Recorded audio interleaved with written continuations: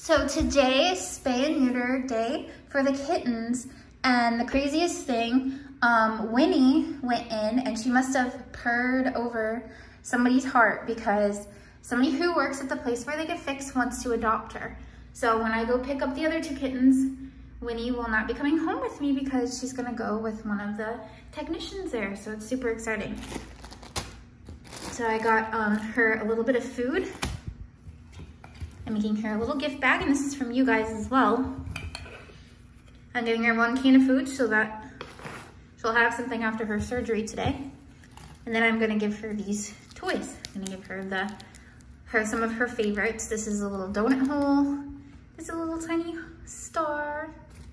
And then this. And then this.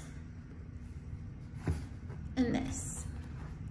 So I'm gonna give her those things so she'll have some toys and I'm sure she'll be spoiled with many more. And I'll be able to give her a bag. And what's cool is since um, I'll be able to talk to the person who's adopting her, hopefully we will be able to get some picture updates.